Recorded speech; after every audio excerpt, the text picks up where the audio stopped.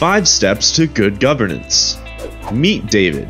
David is the CIO at a large company with more than 600 employees scattered throughout the US. He has realized recently that the information governance in his company is not structured well.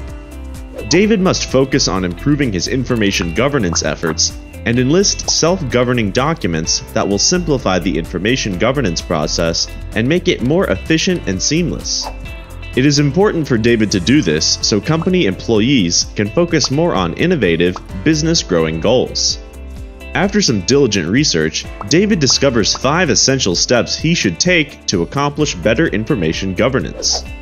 Step 1 by making information governance compliance easier to accomplish, David will ensure this governance will happen, and he will give employees more time to focus on growing the business. Step 2. David must get all stakeholders in the company on board with this new information governance process to ensure that it is implemented smoothly. Step 3. Once David determines which content can be self-governed with automated systems that will follow policies he sets, he will be able to relieve a lot of his workload. Step 4.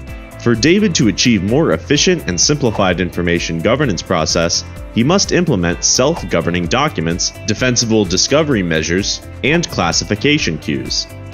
Step 5. With the help of content and collaboration tools that work from any device and offer security, scalability, data governance, and administrative controls, David will enable his company to work smarter and faster. Self-governing documents protect sensitive information by following intelligent processes and procedure automatically. It is something your company will likely need and cannot do without. If you want to know more about the best way to ensure good governance, click the link below for more information.